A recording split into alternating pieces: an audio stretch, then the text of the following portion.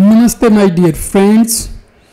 In Indian politics, opposition parties, especially Trinamool Congress, DMK, Samajwadi Party, and some other Indie Alliance partners, they are playing a very dangerous game of communal reservation.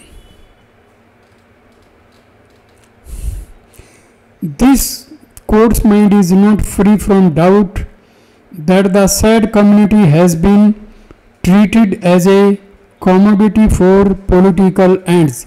This is clear from the chain of events that led to the classification of the 77 classes as OBCs and their inclusion to be treated as a vote bank.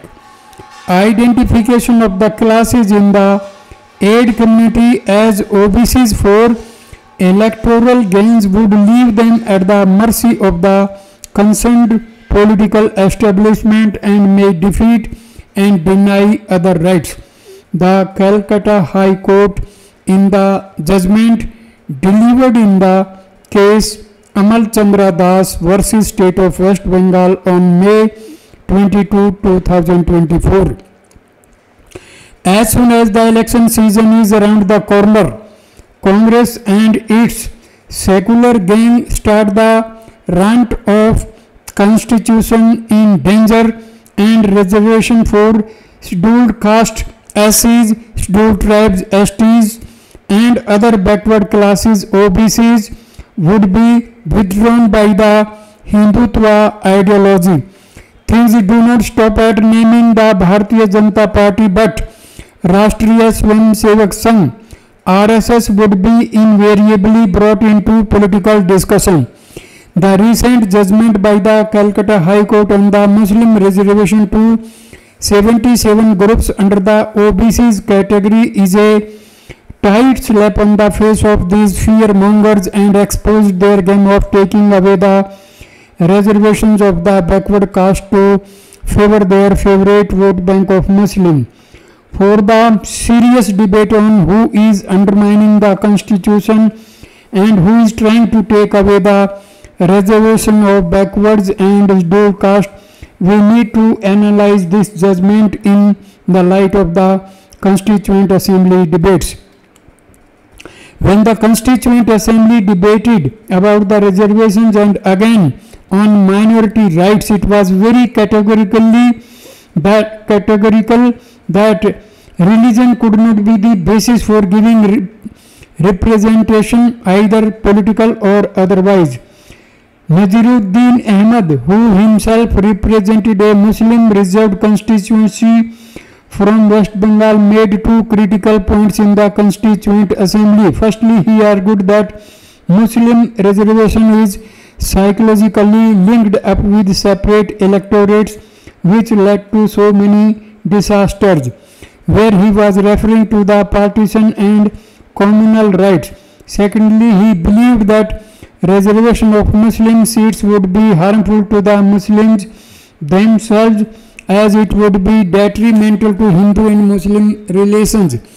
S. Nagappa, who represented a Dalit caste voice in the debate, differentiated the backwardness based on caste and a religious community and made a bold statement that by giving away the communal reservation, the Muslim community is not doing any favor to the country.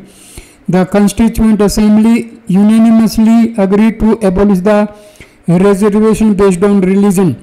In various judgments, our courts also defined the rationale behind the reservation as affirmative action to promote the idea of substantive quality, which is outcome based for genuine equality. While achieving this, as Dr.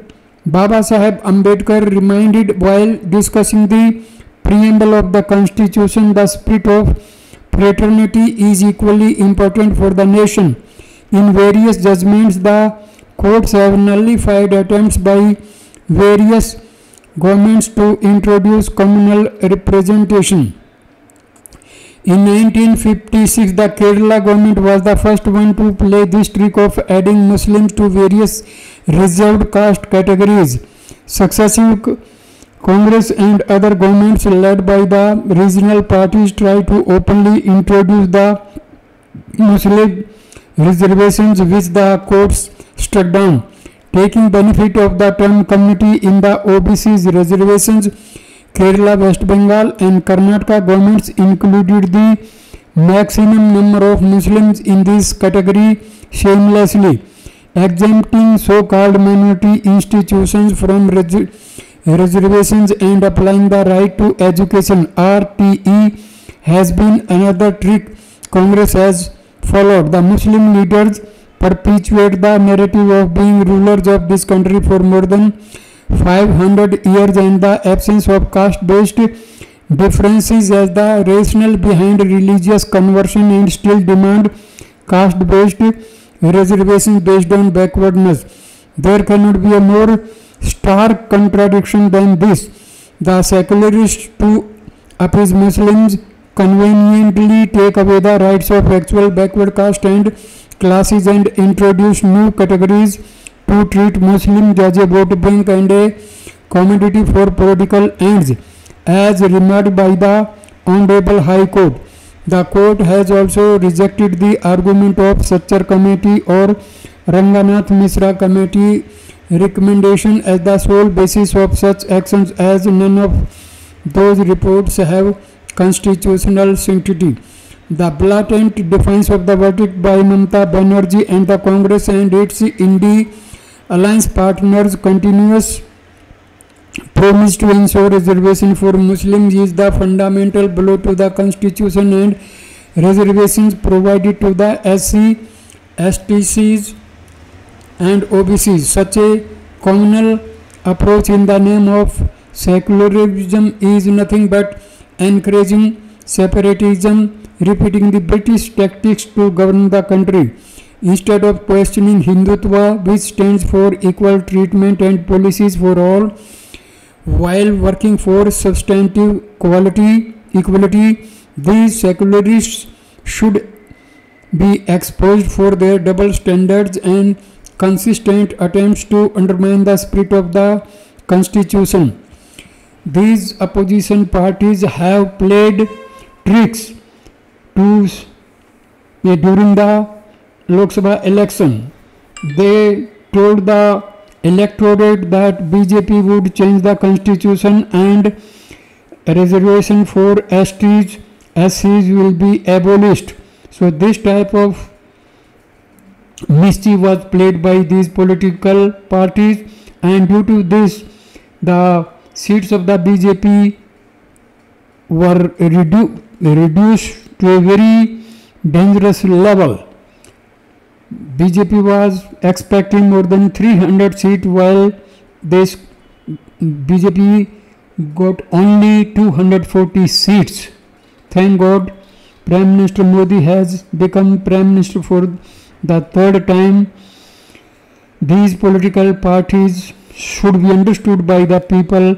These people are dangerous, dangerously playing with the constitution of India. Thank you for watching this video.